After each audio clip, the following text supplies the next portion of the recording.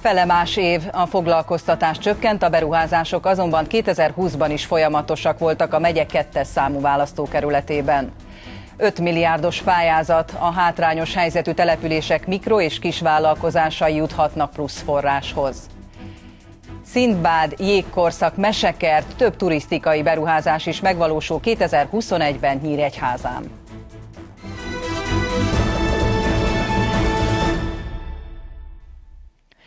Technikailag készen állunk a koronavírus elleni oltások tömeges és gyors beadására, amennyiben nagy mennyiségben érkezne vakcina az országba, mondta Orbán Viktor miniszterelnök a Kossuth Rádióban. A Kölcsei Televízió híradóját látják, köszöntöm Önöket!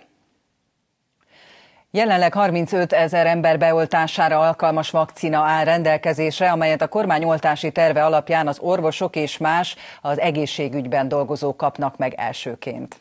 Van egy oltási tervünk, az oltási terv az arról szól, hogy ha nincs mindenki számára elegendő vakcina, akkor melyik csoportok milyen ütemezésben kapják meg az oltást. Ezért kapják most az orvosok meg az egészségügyben dolgozó ápolók, különösen az intenzív osztályon dolgozók, aztán a többi egészségügyi dolgozó is, mert ők vannak az első helyen. És ezért az oltásnak a technikai kivitelezése is ehhez a mennyiséghez igazodik. 35 ezer ember beoltására alkalmas vakcinánk van, ezeket ki tudjuk helyezni, le tudjuk oltani 20 egy néhány kórházakban megjelölt oltási ponton. De ha mondjuk holnap reggel megérkezne mondjuk több millió vakcina, akkor van egy tervünk arra nézve, hogy hol fogjuk kijelölni azokat az oltási pontokat, ahol tömegesen és gyorsan le tudunk oltani mindenkit. Az elmúlt 24 órában 856 újabb magyar állampolgárnál mutatták ki az új koronavírus fertőzést, és elhunyt 93 többségében idős krónikus beteg.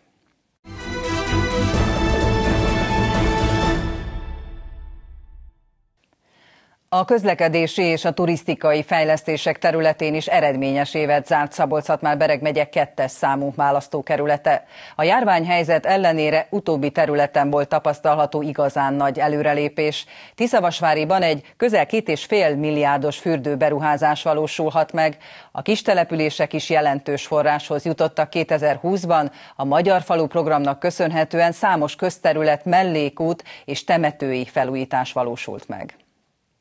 Új célokat kellett megfogalmazni a járványos sújtott hónapokban a megye kettes számú választókerületében is. Ez a térség is megérezte a gazdasági visszaesést, az elmúlt években növekvő foglalkoztatási adatok most megtorpantak. Nyíregyházán például az a korábbi 3%-ról több, mint 4%-ra. Az Ibrányi és Tiszavasvári járásban 6%-ról közel 9%-ra emelkedett a munkanélküliek aránya. Vinnai Győző országgyűlési képviselő szerint is ezen kell majd legtöbbet dolgozni jövő évtől, az ugyanakkor kedvező, hogy a beruházások üteme nem lassult. Hangsúlyozta a legszembetűnő pozitív változást a nyugati elkerülő jelentette, ami nagy segítséget nyújt a közlekedőknek és jelentős tranzitforgalomtól szabadítja meg Nyíregyháza belvárosát. A megyeszékhelyen jövő évben is tovább javulhat a közlekedés. 2021-ben elkezdődik a Tiszavasvári úti felüljáró teljes korszerűsítése. Emellett már a Tokai úti aluljáró tervezése is folyamatban van. A választókerület kisvárosai is eredményesében vannak túl.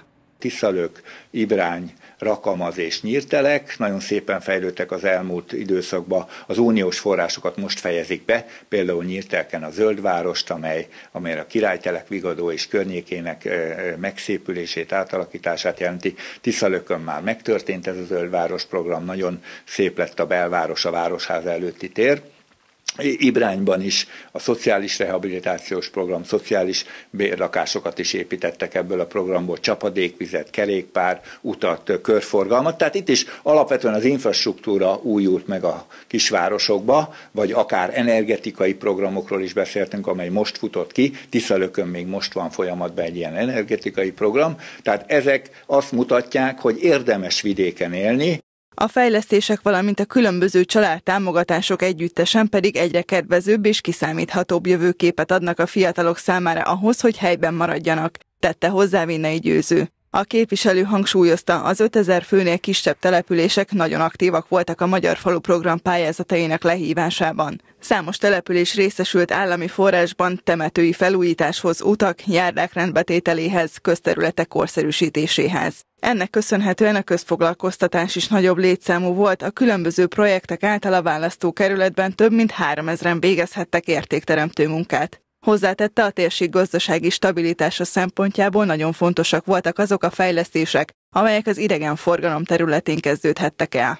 A turizmust a kormány kiemelten támogatja, elsősorban a belföldi turizmust, ismerjük a pandémiás helyzetet, és ezért Tokaj és Nyíregyháza térsége az ország 11 kiemelt turisztikai térségének egyike lett, és ebből 9 település a, választ, 9 település a választókerületemből bekerült, tehát Nyíregyháza mellett Tiszadok, Tiszadada, Tiszalök, Tiszavasvári, Rakamaz, Balsa, Szabolcs és Gávavencsellő is bekerült. Ez azt jelenti, hogy itt a turizmust akár a szabad strandok fejlesztését, vagy a Tisza mentén a nyaralóhajó programot, kerékpárút fejlesztést, szálláshelyek bővítését kiemelten támogatja a kormány. Az ágazathoz és a térséghez egyaránt kapcsolódó hír, hogy Tiszavasváriban hamarosan egy 50 szobás szálloda építését kezdik meg, a helyi gyógyfürdő pedig hét új medencében lesz gazdagabb, egy közel két és fél milliárd forintos beruházásnak köszönhetően. Az országgyűlési képviselő kiemelte, a tervezett fejlesztésekhez jó alapot ad, hogy elfogadták az új Európai Uniós költségvetést. Így az eddig rendelkezésre álló programok 2021 és 2028 között is lehetőséget biztosítanak a településeknek terveik megvalósításához. 5 milliárd forintos keretösszegű pályázatot hirdetett meg az állam hátrányos helyzetű településeken működő kisvállalkozások számára. A támogatást az érintett cégek többek között eszközbeszerzésre, munkabérre vagy dolgozói képzésére is fordíthatják. szabolcs már Bereg megyei vállalkozások különösen érintettek lehetnek, a megye területének ugyanis közel 85%-a tekinthető hátrányos helyzetűnek. Magyarországon mintegy 1200 település található úgynevezett szabad vállalkozási zónákban, azaz gazdaságilag leszakadt területeken. Az ilyen helyeken működő mikro- és kisvállalkozásokat kívánja támogatni az Innovációs és Technológiai Minisztérium, valamint a Belügyminisztérium közös pályázata. Az érintett vállalkozások egyenként 2-től 10 millió forintos támogatásban részesülhetnek. A kormány felmérése szerint ezen felül további 162 település van hazánkban, amely még nagyobb segítségre szorul. Az ebbe a kategóriába eső cégek akár 60 millió forintot is elnyerhetnek. Mint egy két millió magyar a gazdasági lehetőségektől távolabb eső településeken él, amelyeket szabad vállalkozási zónáknak nevezünk. Ez egy európai terminológia. Az a lényege, hogy azok, akik ezeken a településeken élnek, könnyebben juthatnak fejlesztési forrásokhoz annak érdekében, hogy az ott élők munkahelyének megtartását, megerősítését, így támogassuk, hogy az ott működő vállalkozásokat középtávon megerősítsük. A pályázó vállalkozások 70%-os intenzitású vissza nem térítendő támogatásban részesülhetnek. Ezt elsősorban új eszközök, gépek beszerzésére, valamint ingatlanfejlesztésre, munkabérre, alkalmazottai képzésére és informatikai korszerűsítésre fordíthatják. Az államtitkár hangsúlyozta, annak érdekében, hogy ezek a lehetőségek az eddig el nem ért vállalkozásokhoz is eljussanak, csak olyan cégek pályázhatnak, amelyek korábban nem részesültek ehhez hasonló támogatásban. A pályázat a keleti régió kis településeinek gazdasági élénküléséhez is jelentősen hozzájárulhat. Ezek a települések távolabb esnek a nagy gazdasági centrumainktól, és az Európai Unió nomenklatúrája vagy szabályrendszer szerint ezeket a településeket ki tudjuk emelni a pályázati struktúrából is, meg tudjuk őket különböztetni, meg tudjuk ezeket a településeket, községeket, falvakat, városokat különböztetni, azért, hogy könnyebben tudjuk az itt működő vállalkozásokat támogatni. szabolcs már Bereg megye területének közel 80-85 a szabad vállalkozási zónának minősül. Ez az a megyénk, amelynek a területét a legnagyobb arányban fedik a szabad vállalkozási zónák. Az 5 millió forintos keretösszegű pályázatra, melynek megírásának költségeit is átvállalja az állam, január 19-től február 18-áig lehet jelentkezni. A felhívást ágazati korlátozás nélkül hirdették meg a minisztériumok, a termelő cégeken túl a kereskedelmi és szolgáltató, valamint az építőipari szektorokban működő vállalkozások is jelentkezhetnek. Az érdeklődők a vállalkozói információs portálon tájékozódhatnak részletesen a kiírás feltételeiről. A Debreceni úti felüljáró és a vasútállomás közötti útszakasz fejlesztésével, valamint két új körforgalom kialakításával javulhat a közlekedési infrastruktúra Nyíregyházán. A 2021-es projektek sorába tartozik a Szintbád és a Mesekert megnyitása, valamint az állatpark jégkorszakot bemutató egységének kialakítása is. Ez utóbbi a létesítmény eddigi legnagyobb beruházásaként 6,5 milliárd forintból valósulhat meg. Jellemzően három-négy éves időtartamúak azok a projektek, amelyek Nyíregyházán futnak. Nagyjából ennyi időbe telik a megvalósításuk a pályázat összeállításától a kivitelezésig. Nagy beruházásokból pedig 2021-ben sem lesz hiány a megyeszékhelyen. Novemberben döntött róla a kormány, hogy 5 milliárd forintot biztosít a nyíregyházi utak felújítására. Az aszfaltozás már tavasszal, a jó idő beköszöntével elindulhat. A Tiszavasvári úti felüljáró régóta várt felújítása is az új évben történik meg. Másfél milliárd forintból korszerűsítik és teszik kerékpáros baráttá az átkelőt. A munka tavasszal kezdődhet és évvégéig be is fejeződik. Szintén régóta terítéken van a nagykörút bezárása, ennek kiviteli tervei is elkészültek már. Aznak a, a nagyon fontos szakasznak, ami a Debreceni felüljárótól a vasútállomásig terjed, ott kétszer egy sáv az út, azt szeretnénk kétsávosság kiépíteni, mellette egy, egy járda kerékpárút, egy széles járdát biztosítva. És hát ez azt jelenti, hogy ezt el tudjuk indítani nyárig, akkor Nyíregyházának lesz egy belső körgyűrűje.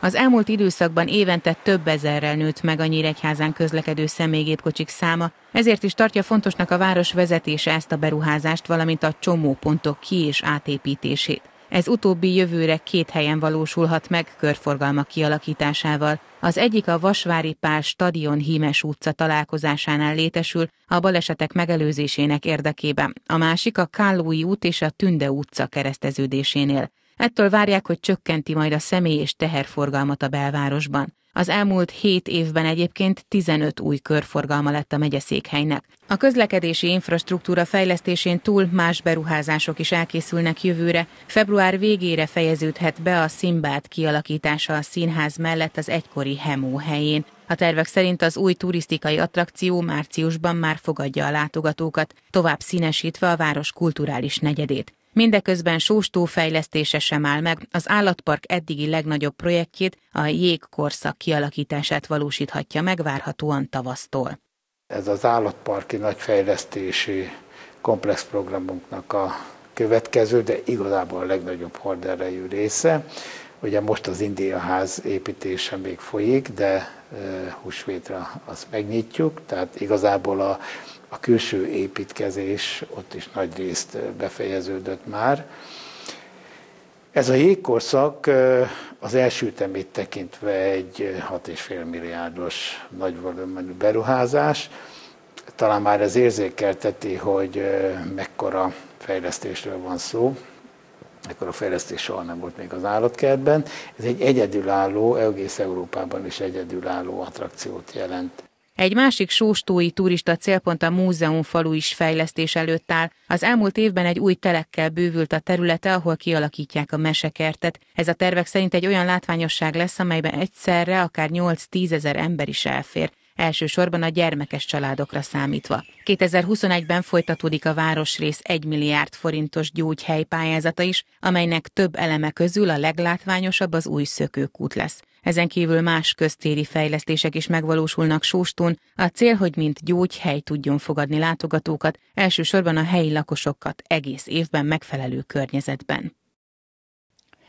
Hétfőtől újra lehet pályázni az elektromos kerékpárok kedvezményes vásárlására. Az Innovációs és Technológiai Minisztérium elektromos rásegítésű kerékpárok megvásárlását támogató kiírásának második körében 2021. január 4-e és 8-a között várják a pályázatokat. Az első etap nyertesei több mint ezer pedelek beszerzéséhez kaphatnak összesen közel 110 millió forintot. Január 4-től közel két héten át idén is várják Nyíregyháza két hulladék udvarában a feleslegessé vált fenyőfákat. Az akcióban résztvevők az elmúlt évekhez hasonlóan idén is nyereményekben részesülhetnek. Korábban sok nehézséget okoztak a hulladékgyűjtőknek a szabálytalanul kihelyezett fenyők, amelyeket legcélszerűbb a kommunális hulladék mellé helyezni. A karácsonyfát a legtöbb háztartásban a hagyomány szerint január 6-án öltöztetik le, Ebben az időszakban Nyíregyházán is 30-40 ezer fenyőfa válik feleslegessé. Bár a lakosság szemlélete sokat változott az évek alatt, még mindig gyakran előfordul, hogy ezeket a fenyőket közterületeken hagyják, vagy egész egyszerűen kidobják azokat a társasházak ablakából. Az így kihelyezett fákkal nem csak szabálysértést követnek el az emberek, hanem jelentős többlet munkát rónak a hulladékkezelő munkatársaira. A legalkalmasabb és a legjobb megoldás az lenne, hogyha behozzák a két hulladékudvarunkba a Nyíregyházán, de amennyiben ez nem megoldható, akkor a kiosztott naptárainkban, vagy amit még évvégéig meg fognak kapni a lakosok, abba benne van, hogy melyik napokon fogjuk összegyűjteni ezeket a fákat, és annak megfelelően a kommunális hulladékgyűjtő edények mellé helyezzék el. Az Északalföldi Környezetgazdálkodási Nonprofit Kft. januárban két ütemben is végez majd kimondottan karácsonyfagyűjtést a családi házas övezetekben. A lakosok azonban máshogyan is megszabadulhatnak fenyőfájuktól. A hulladékkezelő az elmúlt évekhez hasonlóan idén is várja az önkéntes szállítókat a Kerék és Korányi utcai hulladékudvarban. Az akcióban résztvevők idén is egy nyereményjátékban vehetnek részt az évben uh, annyi újdonságot hozunk ebbe a rendszerbe, hogy aki töves, jó állapotú töves fenyőt hoz be, azért uh, több sorsjegyet adunk, illetve ajándékot, illetve következő év tavaszán a Nyírvévé Kft-vel együttműködve majd egy megfelelő helyen elültetjük ezeket a fákat. Tehát a hulladékból, illetve a karácsonyfából ebből nem hulladék lesz ezzel a megoldással, hanem gyakorlatilag bízom benne, hogy előbb-utóbb egy új erdő. A rosszabb minőségű fák jelentős részét ráadásul komposztanyagként hasznosítják, így a bomlás során sem keletkezik káros anyag a jövőben.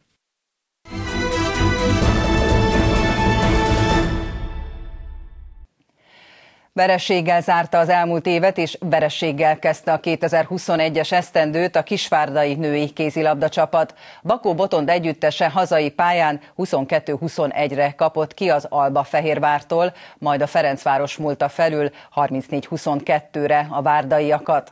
Az NB1-es tabella 9. helyén álló Kisvárda szerdán a lista vezető Siófokhoz látogat.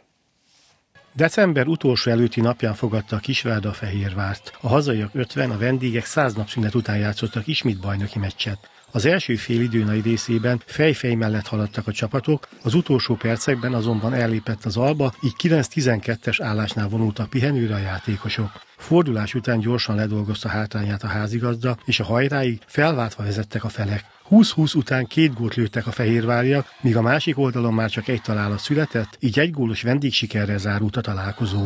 Úgy gondolom, egy végletekig kiélezett találkozót játszottunk egy nagyon jó csapat ellen. Készültünk nagyon sokat erre a mérkőzésre, igazából volt három hónapunk sajnos, de így utólag azt mondom, hogy jól jött nekünk ez a szünet, illetve össze tudtuk rakni a játékunkat. Ez egy ilyen igazi lélekemelő győzelem volt. Az első félidő végét mi zártuk jobban, igazából egy megnyugtató előnyel fordultunk, de sajnos a második félidőben ezt le is nulláztuk, a Kisvárda átvette a vezetést, és belementünk egy ilyen igazi adok-kapokba, és ahol a végjátékban nyilván a szerencse is mellénk át, és egy, egy gólos győzelmet adottunk. A hazaiak vezetőjegyzője csak a játék bizonyos elemeiben nyújtott teljesítménnyel volt elégedett csapatát illetően. Egy nagyon sok hibával játszott mérkőzés volt, de várható volt, hogy, hogy sok lesz a hiba. Sajnos mi többet hibáztunk picivel, mint az ellenfelünk, és, és kikaptuk a mérkőzést, nem úgy tértünk vissza az 50 napszünet után, ahogy szerettük volna, de, de igazából a védekezésen és a kapus teljesítményen kívül a játék többi eleme az, az nem volt megfelelő színvonalon. Támadásban hiányoltam a, a kreativitást, a, a dinamikusabb, gyorsabb játékot, illetve az átlövőktől az átütő erőt. Nagyon-nagyon kevés volt a, az átlövés gól, betömörültünk, nem voltak előnyszerzések, szóval sok problémám van a, a támadójátékunkkal. Szombaton a Ferencváros otthonában lépett pályára Kisvárda, és bár a meccs vége előtt 10 perccel még csak 4 góllal vezetett a házigazda, végül 34-22-re nyert a Fradi. Az NB1 tabelláját a Siófok vezeti 16 ponttal, megelőzze az egyaránt 14 pontos, de négy meccsel kevesebbet játszó Győrt és Ferencvárost. A négy ponttal 9. Kisvárda szerdán Siófokon lép pályára. Végül nézzük a legfontosabb híreket ismét néhány mondatban.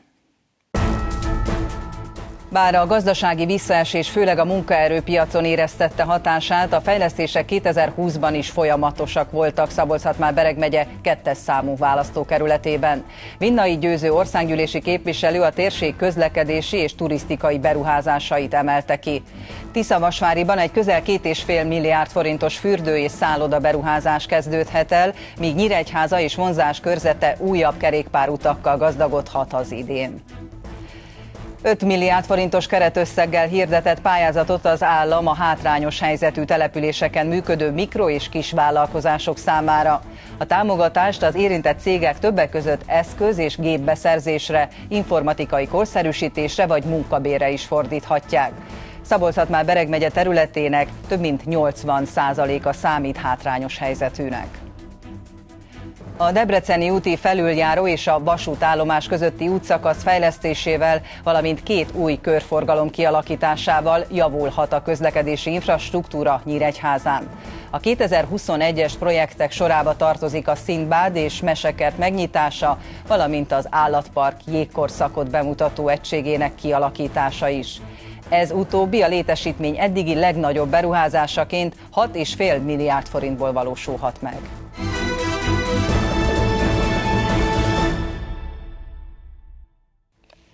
Január 4-én hétfőn a Kölcsei Televízió híradóját látták, amelyen holnap este várjuk legközelebb önöket.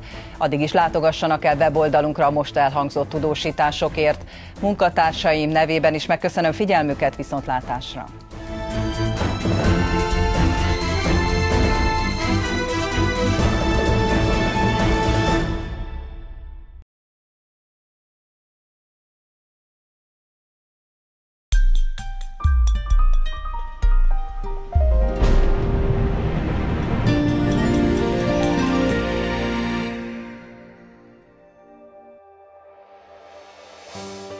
Éjjel túlnyomóan borult lesz az ég, délutántól eső várható, a változó irányú szél gyenge vagy mérsékelt marad. A legalacsonyabb éjszakai hőmérséklet 5 fok körül alakul.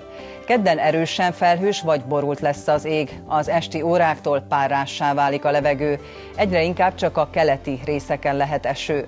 A legmagasabb nappali hőmérséklet 7 fok körül alakul. Szerdán több helyen lehet csapadék, zömében eső várható, de az Észak-Dunántúlon a hegyekben havas eső, hó is hullhat. Csütörtökön már csak szorványosan várható zápor, főleg északon havas eső, hózápor is lehet. Fokozatosan csökken a hőmérséklet, visszatérnek a reggeli fagyok, és napközben sem mérhetünk majd 5 foknál többet.